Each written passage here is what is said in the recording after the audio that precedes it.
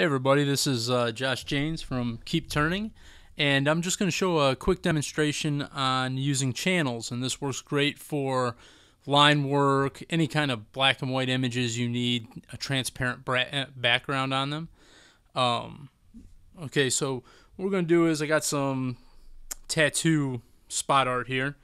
We'll open up in Photoshop, and it's it's a fairly big file, but it's uh, saved as a JPEG, so the white and black is all merged together on the background and we need to separate the two. So what we're going to do is we're going to do a quick select all and copy it. And then we're going to go over here to our channels palette and uh, we're going to create a new channel. And now we're going to hit Command V and we're going to paste that artwork back in. Now what we want to do is we want to be able to make this the artwork that's in black our selection. So we want to invert this channel. Um, if you hit Command I, it'll invert everything. And then we can make this into a uh, selection by holding down Command and clicking on the uh, channel that we created. And now go back to our normal channel, the RGB. And now that's all active. We can create a new layer and uh, we can fill it with whatever we want. We'll just fill it with black again.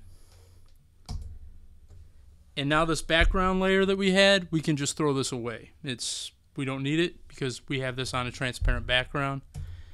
And now you can uh, you can make that background a multiplied layer so you can color underneath it and the black will soak through.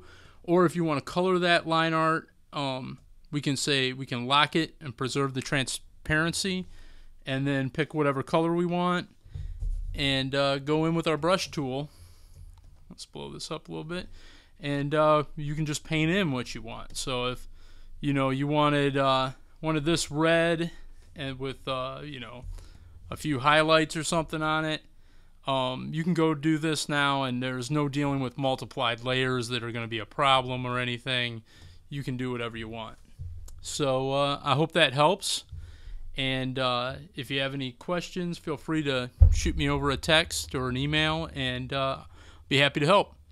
Uh, until next time, talk to you guys later. Bye.